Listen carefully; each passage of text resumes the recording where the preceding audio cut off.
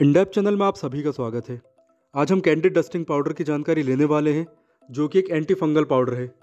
तो जैसा कि आप अपनी स्क्रीन पर देख सकते हैं, यह 50 ग्राम का एक पैक है, और इसका प्राइस फरवरी 2023 में लगभग अस्सी रुपये है।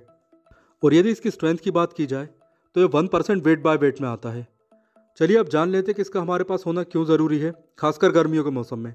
देखिए, गर्मियों में सभी को पसीना आता है, और सभी की बॉडी नम रहती है, और यही नमी फंगस की ग्रोथ के लिए सबसे अच्छी कंडीशन होती है। तो जब भी फंगस की ग्रोथ होती है तो हमें फंगल इन्फेक्शन होने की संभावना काफ़ी ज़्यादा होती है।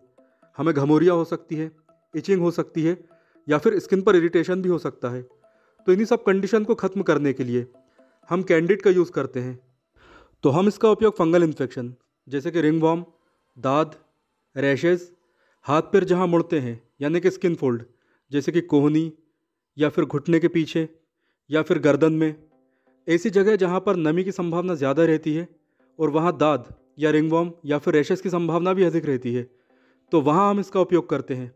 इसके साथ ही जेनाइटल्स में, यानी कि जननांगों में, जहाँ पर हमेशा पसीना रहता है, खासकर गर्मियों के मौसम में, और वहाँ पर रैशेज़ या फंगल इन्फेक्शन या खुजली होने की संभावना सबसे अधिक रहती है तो वहाँ इसका उपयोग किया जाता है।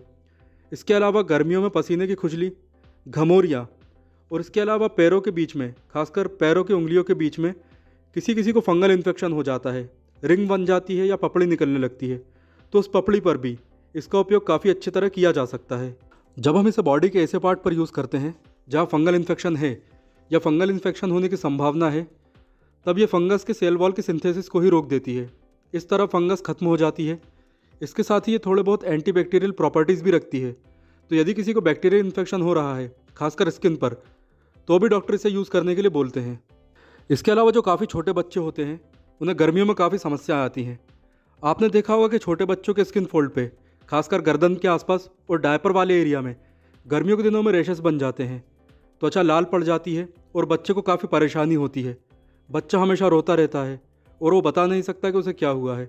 तो ऐसे में यदि रैशेज़ हैं, खासकर स्किन लाल हो रही है या किसी तरह की रिंग दिख रही है तो वहाँ भी कैंडिड पाउडर का यूज़ किया जा सकता है और आप याद रखिए कि ये सभी के लिए सेफ़ है, यानी कि इसे एक महीने के बच्चे से लेकर सौ साल के बुज़ुर्ग आसानी से यूज़ कर सकते हैं। इसके अलावा एक और समस्या, जो ऐसे लोगों को अधिक होती है, जिन्हें लंबे समय तक जूते पहने रखना पड़ता है, खासकर ऑफ़िस जाने वाले लोग। ऐसे लोगों के पैरों की उंगलियों के बीच में कभी कभी त्वचा लाल पड़ जाती है, पपड़ी निकलने लगती है, या फिर खुजली होने लगती है। इसके अलावा दांत की तरह सिम्टम्स होने लगते हैं। तो हमें समझ जाना चाहिए कि ये सब फंगल इन्फेक्शन के सिम्टम्स हैं। तो यहाँ पर भी कैंडिड पाउडर का उपयोग किया जाता है। और आप एक बात ध्यान रखें कि जब इस पाउडर का उपयोग करें, खासकर पैरों की उंगलियों के बीच में तो कुछ देर पैरों को खुला रहने दें। चलिए अब इसकी पैकिंग पर, जो इसके यूजेस लिखे हैं, हम उन्हें एक बार पढ़ लेते हैं।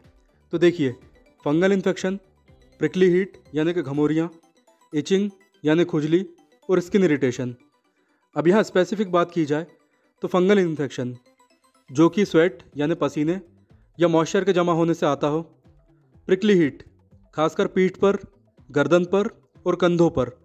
इसके अलावा इचिंग इंटीमेट बॉडी पार्ट में, जैसे कि हमारी वेस्ट लाइन या जेनाइटल्स एरिया या इनर थाइस या फिर बगलों में। फिर स्किन इरिटेशन जैसे कि रेडनेस यानी स्किन लाल होना रैशेस पड़ना और त्वचा का सूजना। तो ये कुछ इसके स्पेसिफिक यूज़ हैं, जो कि इसकी पैकिंग पर लिखे हुए हैं।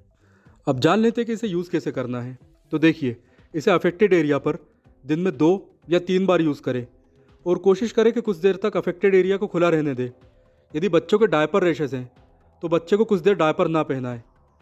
और याद रखें कि इसे आप केवल सात दिनों तक यूज़ करें और यदि सात दिनों में आपके लक्षण नहीं जाते हैं तो अपने डॉक्टर से संपर्क करें। अब वीडियो के अंत में इसके साइड इफ़ेक्ट्स की बात की जाए तो इसके कोई खास साइड इफ़ेक्ट नहीं है, लगभग ना के बराबर। लेकिन यदि आपके लक्षण नहीं जाते या लक्षण बढ़ जाते हैं, जैसे कि खुजली बढ़ जाती है या स्किन रैशेस बढ़ जाते हैं, या त्वचा और ज़्यादा लाल हो जाती है तो आप इसका यूज़ ना करें और अपने डॉक्टर से संपर्क करें। तो दोस्तों, ये थी कैंडिड डस्टिंग पाउडर के बारे में वो जानकारी जो हम सभी के लिए ज़रूरी है। यदि ये जानकारी आपको हेल्पफुल लगी है तो आप इसे शेयर करें और इंडेप चैनल को अभी सब्सक्राइब करें। And thank for watching this video